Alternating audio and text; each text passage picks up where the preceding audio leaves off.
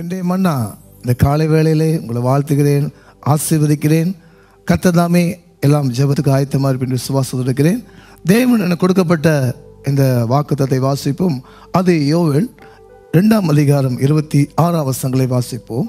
நீங்கள் சம்பூரணமாக சாப்பிட்டு திருப்தி அடைந்து உங்களை அதிசயமாய் நடத்தி வந்த உங்களை அதிசயமா நடத்தி வந்த உங்கள் தேவனாகிய கர்த்தருடைய நாமத்தை தேவனுடைய கத்திர நாமத்தை துதிப்பீர்கள். துதிப்பீர்கள். என் ஜனங்கள் என் ஜனங்கள் ஒருபோதும் வெட்கப்பட்டு போவதில்லை. ஒருபோதும் வெக்கப்பட்டு போவதில்லை. அல்லேலூயா கத்து சொல்லுகிறார் என் ஜனங்கள் ஒரு நாள் வெக்கப்பட்டு போல அப்ப ஆண்டவர் சொல்லுகிறார் இஸ்ரேவில ஜனங்களை ஆசீர்வதிக்கு தேவனுக்கு பிரியமாடு.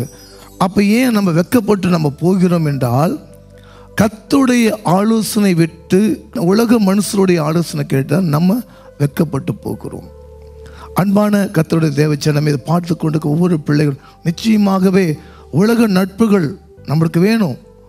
ஆனால் பரிசுத்த வேதாகமத்தை என்னைக்கு நம்ம கை கொண்டு ஆண்டவுடைய வார்த்தைகளுக்கு நம்ம செவி சாக்கிறோமோ ஆண்ட சொல்ல என் ஜனங்கள் ஒரு நாள் வெக்கப்பட்டு போவதில்லை.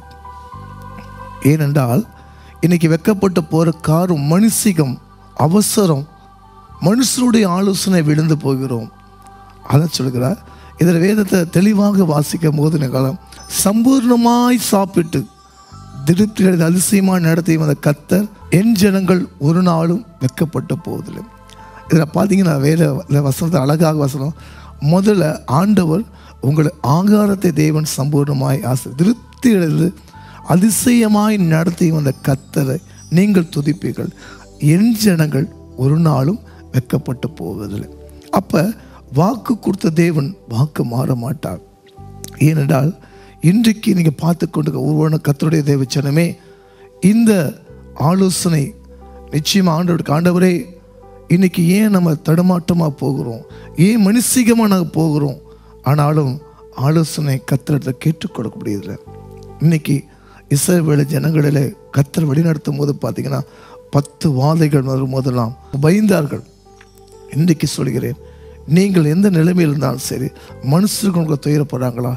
மனுஷ பரியாசம் பண்ணுகிறார்களா கத்த சொல்லி என் ஜனங்கள் ஒரு நாளும் வெக்கப்பட்டு போவதில்லை. நிச்சயமாகவே இதை பார்த்துக்கொண்டு ஒவ்வொரு கத்தருடைய தேவச்சனமே இந்த காலை வேளையில் தேவன் உங்களை கிருபையாய் கத்த உங்களை ஆசீர்வதிப்பார். நீங்களும் எந்த சூழ்நிலை இருந்தாலும் சரி நீங்கள் ஆண்டவருடைய ஆலோசனை கேளுங்க. சின்ன சின்ன காரியத்தை ஜெபித்து கடந்து போங்க.